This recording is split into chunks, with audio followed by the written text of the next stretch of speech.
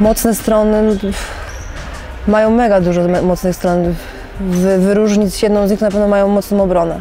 Na każdej pozycji, e, czy, czy to jest podstawowa zawodniczka, czy ta, która wchodzi z ławki, to są e, klasowe e, piłkarki ręczne m, na poziomie światowym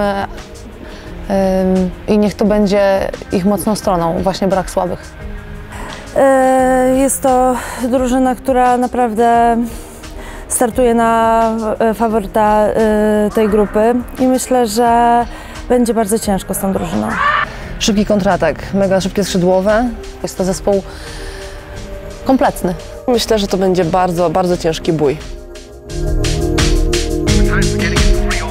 Jeżeli miałabym się doszukiwać słabych punktów tego zespołu, myślę, że, że no, byłoby bardzo ciężko, gdyż na każdej pozycji jest zawodniczka dysponująca e, z mocnym rzutem, na każdej pozycji jest zawodniczka, która potrafi e, zagrać indywidualnie, e, nie tylko akcję zespołową. No, jeżeli już bym miała się naprawdę przyczepić, to jest naprawdę zespół stworzony teraz pod Ligę Mistrzyń, jest, jest kilka nowych twarzy i, i może nie do końca brak zgrania, może to, to być ich jakąś tam pię- piętą achillesową. Ciężko mówić o tych złych stronach, e, bo wiadomo, że e, mecze, które oglądamy e, teraz, w tym momencie, są różne. Nie każdy mecz jest równy. Wydaje mi się, że więcej będę mogła powiedzieć po, po naszym spotkaniu.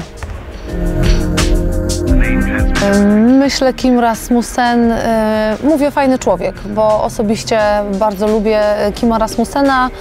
Mm, Mamy podobne poczucie humoru, lubimy podobne rzeczy. Myślę, że całkiem niezły trener.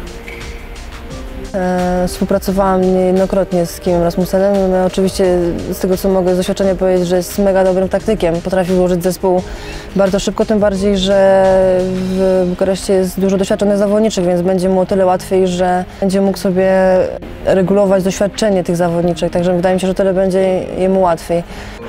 E, myślę, Kim Rasmussen mówię pewność siebie na pewno, zdecydowana pewność siebie. Trener naszej reprezentacji Polski to chyba się najbardziej wszystkim kojarzy, e, t- e, kojarzy ta osoba. I myślę, miałam kiedyś przyjemność, jak byłam na zgrupowaniu kadry młodzieżowej, z nim współpracować, prowadził nam trening. Jest to bardzo przyjemna osoba, bardzo wymagająca oczywiście. Dobry trener. Trzeba zagrać z głową, mądrze, y, nie, nie wypróć się w pierwszym kwadransie y, po to, żeby tych sił starczyło do 60 minuty. Wtedy, kiedy jest możliwość y, zagrania kontry, grać tą kontrę, ale kiedy zespół y, wrócił y, do obrony, kiedy jedna nie leży po naszej stronie, to raczej wstrzymać i spokojnie przejść do ataku pozycyjnego.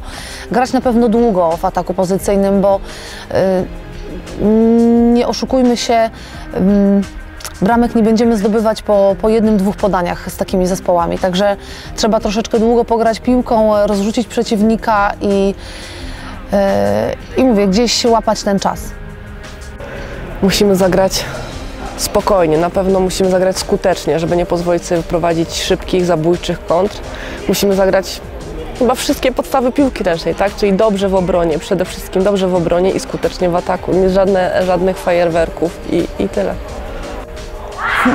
Na pewno bardzo mało błędów trzeba technicznych zrobić. Yy, W obronie trzeba się wspiąć na wysokie obroty i myślę, że będzie dobrze. Jak damy z siebie 100% i zagramy to, co mamy zagrać, nasze założenia, to, e, to nie mamy się czego obawiać.